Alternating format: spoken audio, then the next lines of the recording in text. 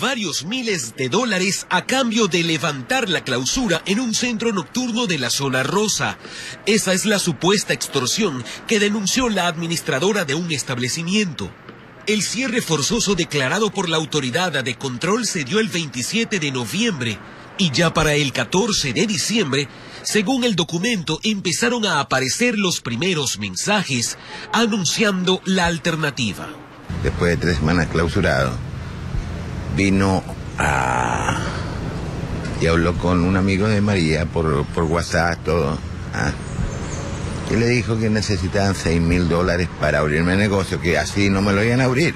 La denuncia reposa en la fiscalía y en ese documento se nombra al intendente de policía del Guayas como presunto titular del ilícito, lo que despertó la indignación del funcionario.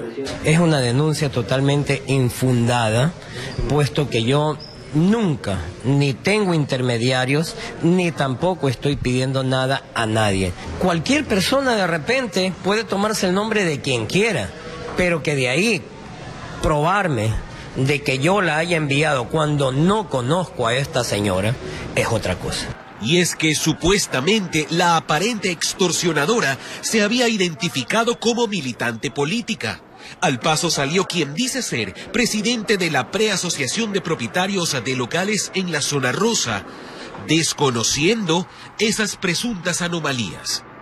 Mira, este, yo tengo un establecimiento que ya tiene 12 años ahí en la zona rosa y jamás hemos visto esta figura que ahora sale a la luz que supuestamente una persona va a recoger este soborno, coima. No, eso no ha existido nunca. No, yo no puedo dar fe de que eso sea cierto. ¿A su local nunca jamás lo han extorsionado? No, ni a mi local ni hasta donde yo sea, a todos los que yo represento. Este hecho se investiga en la Fiscalía del Guayas, encontrándose en etapa de indagación. Las partes implicadas todavía no son llamadas a rendir su versión, informó Enrique Muñoz.